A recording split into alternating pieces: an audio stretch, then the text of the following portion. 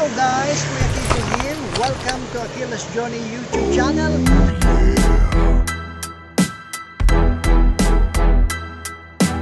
At syempre, once again, araw na naman ng Sabado, andito naman tayo sa Bagaspas Beach sa Dait Camarines Norte. And uh, as you can see, napakaganda ng tanawin, napakaganda ng weather. Kasama natin si Akila. Mamaya, itutur namin kayo along the Bagaspas Boulevard. Makikita nyo napakaraming food stalls. And dun sa dulo, meron dong dog show. Dog show. Dog show. Mamaya, pupunta tayo doon ha. So tara guys!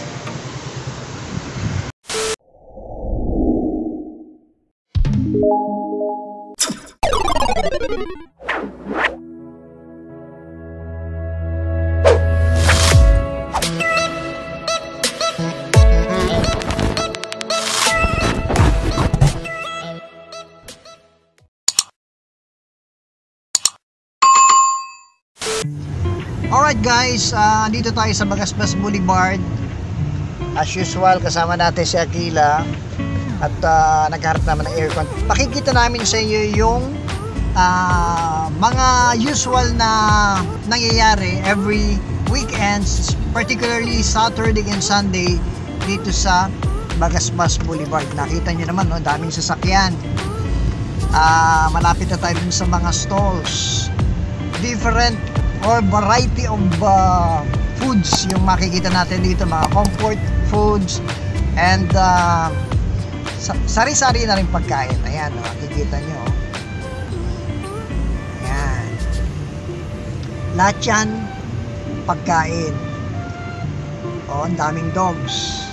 O kaya si Akila pag nakakakita ng small breed ng dogs naku gustong tumalo ng sasakyan ayan ha tingnan natin. Naghahanap tayo ng parking sa dulo dun sa malapit sa event ng dog show. Ayan tingnan natin. Daming ano daming pagkain. Yan ang tingnan nyo daming stall. Dito sa amin sa o yan may tutugtog pa oh. Dito sa amin sa probinsya ng Camarines Norte medyo maluwag na ho. Uh, although makikita pa rin natin na karamihan nakasuot ng face mask, face shield. Pero uh, halos wala na rin hong restrictions kasi mababa ho yung number of cases ng COVID-19 dito naman sa aming probinsya. Ayan, kita nyo, dami. Daming food. Daming food mamaya maghahanap kami ng masarap na pagkain. Ayan si Akila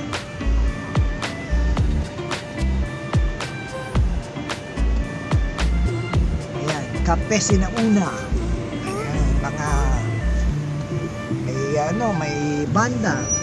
Kita mo may banda na dito.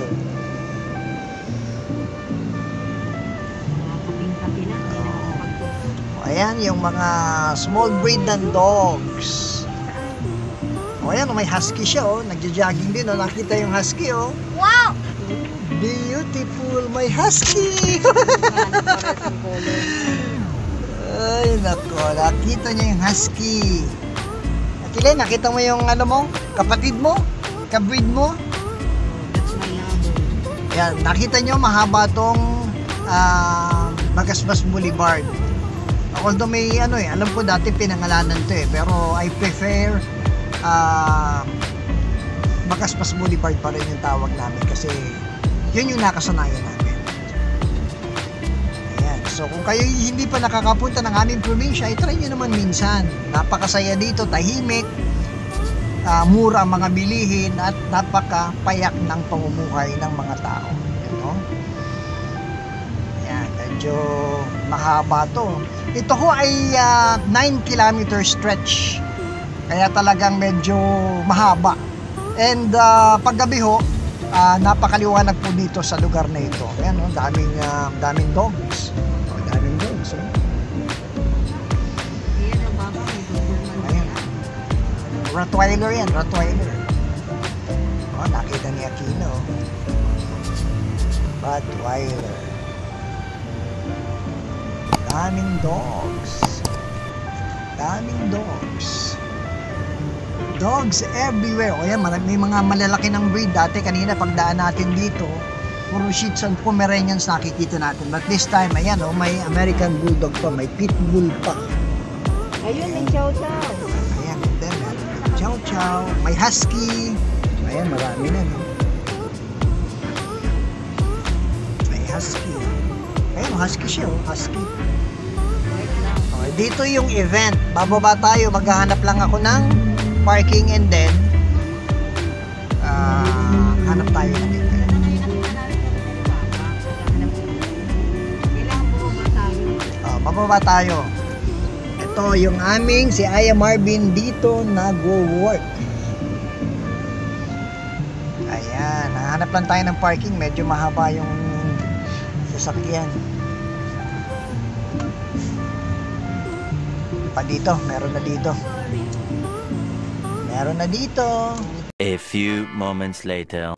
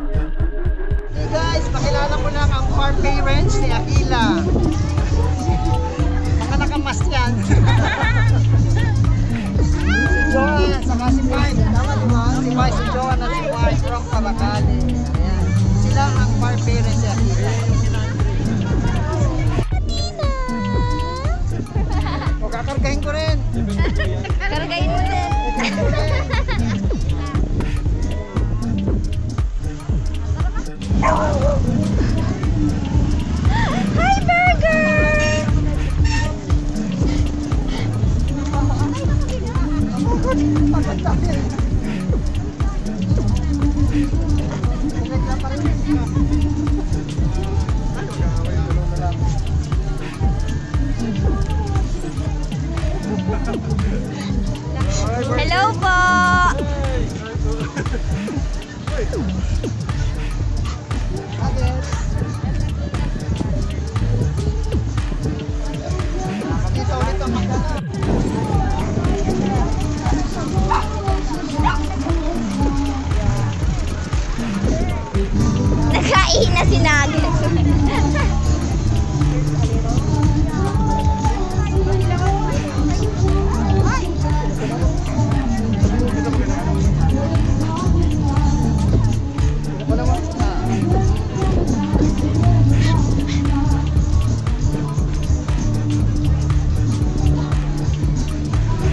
花花。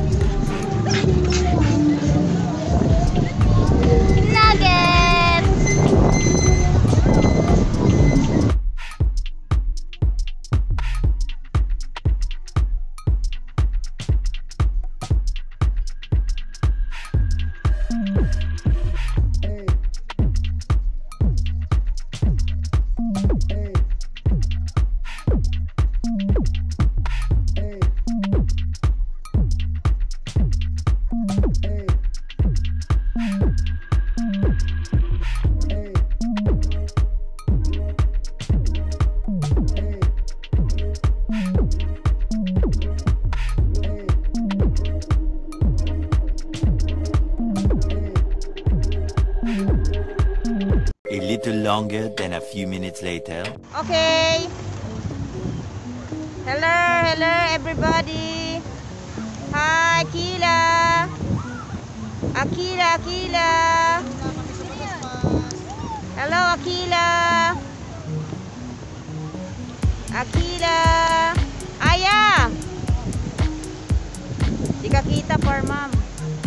Wow, nilob ni for mother.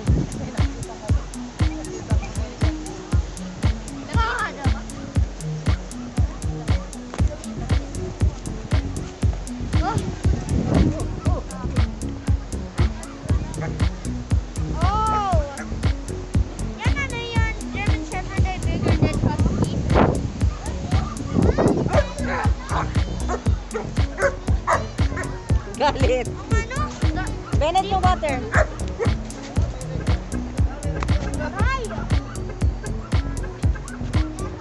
Oo, oh, Bennett, may sasakyan.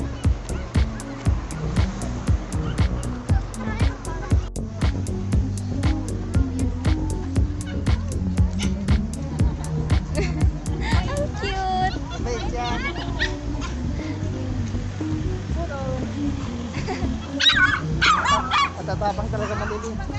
Hello! Cute mo naman!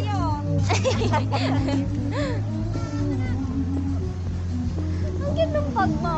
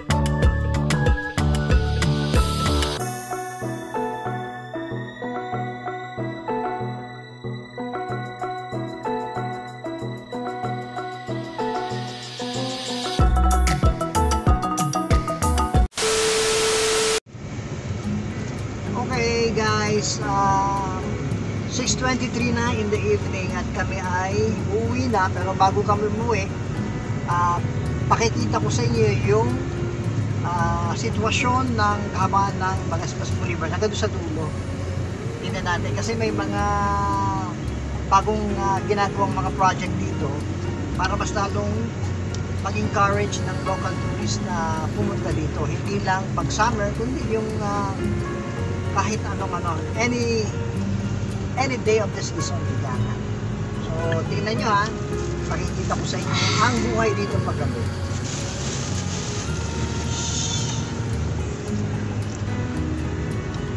Yan.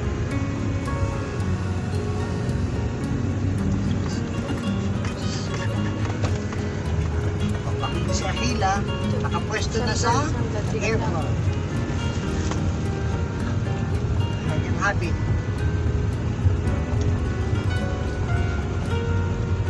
and as you can see, talagang yung front ah, front right seat ay occupied na niya palagi. Talagang dito na siya umuupo.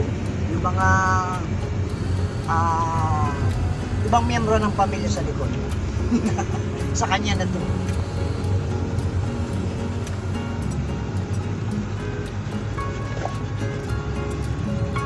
So medyo mahaba to ha, medyo mahaba to guys. Tayo dumarating doon sa pinaka, doon sa, sa ano, bagong bagong ah, gawang kalsada rin na ngayon ay uh, tinatawag na rin. So may tinayo dong ah, wharf na under construction pa yung mga building para sa mga occupants. And I believe may gagawin pang hotel sa lugar na. So tingnan natin. Okay guys, ito yung ano, boundary ng Daet at Talisay. Dito na kami sa Tulay. Pakikita ko sa inyo yung kabila nito. And I'm aware marami rin siyang mga stalls o, na pwede kang kumain. Yan, from noodles to pasta to burgers. Pati yung mga irihaw, marami dito sa kabila. Pero mas maraming tao dun sa kabila kanina dahil meron ng event, yung dog show. Na yan dito. Dito, marami rin siya. Marami rin siyang stall, food stores. At marami rin tumatambay sa SeaWorld. O yan. Ito, oh. Mga milk tea, pares. Ito siguro hanggang sa dulo, mga 4 kilometers pa. 4 kilometer stretch. Uh, yung bandang left ko, yung left side ko, andyan yung ginagawang Fisherman's Wharf na kung saan uh, kung hindi ako nagkakamali, lalagyan din yata ng mga stalls. Hindi ko lang alam yung hotel kung dyan din lalagay. So, medyo madilim na eh, kaya hindi natin makita.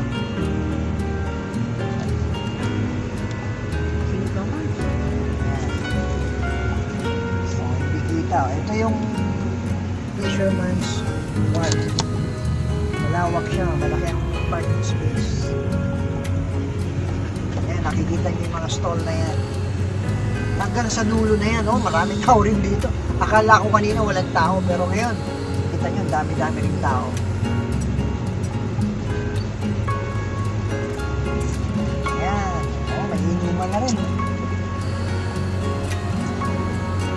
Nag-offer na rin sila ng mga coffee,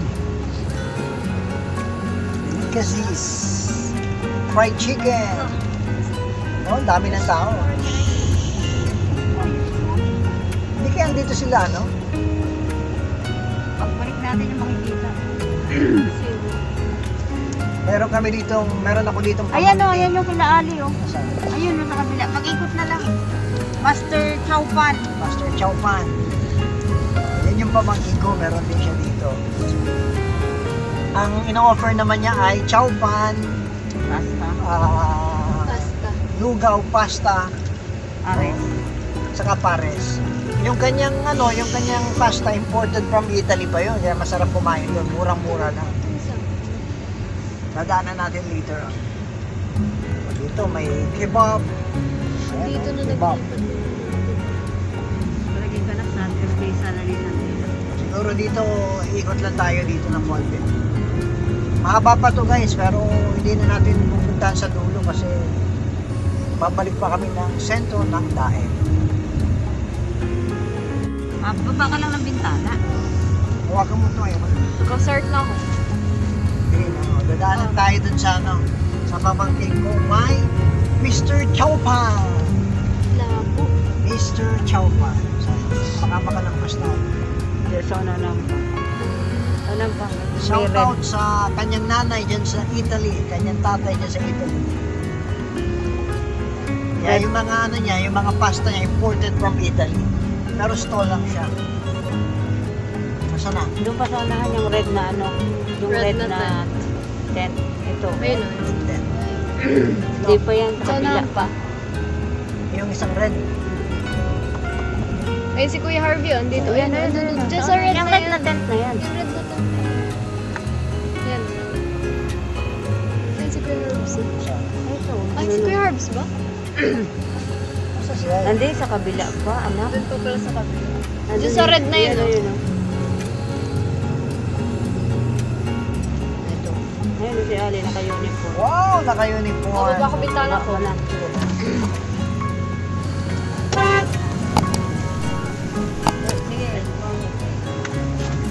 Wow!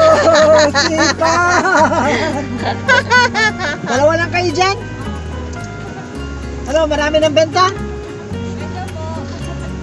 O yan. ah, Master Chow Panin Pasta. Pili na kayo, guys. Ganda to. Sarap. Wala si Herbie? Wala pa po. sige. Good luck!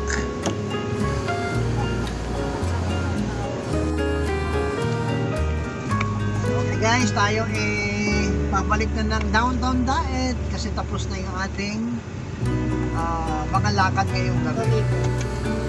Medyo matraffic pa rin. So, hanggang mamaya pa yan guys, ha? hanggang gabi pa yan. Bukas ganito rin yung situation dito sa sa Bagaspas Beach. Para kung kayo uwi dito sa atin, ito na yung uh, madadatnan nyo paggabi. Sabi ko nga, ang advantage nito dito sa amin, ah, hindi na may pet. Although naka-face mask, naka-face shield pa rin ang lahat, pero hindi na kasing pet katulad ng dati. So, parang parang normal na rin. So ayan, maraming salamat guys sa panonood sa ating uh, latest uh, episode ng Akilas Johnny YouTube channel. Kung hindi pa po kayo nakasubscribe, uh, please hit the uh, subscribe button, the notifi- notification button, syempre. Mag-click kayo ng comment kung anong gusto nyo i-feature na na gagawin namin at gagawin namin para sa inyo. So, shoutout sa inyo lahat. Maraming salamat. And uh, hasta la vista sa Gonzaga. Peace out.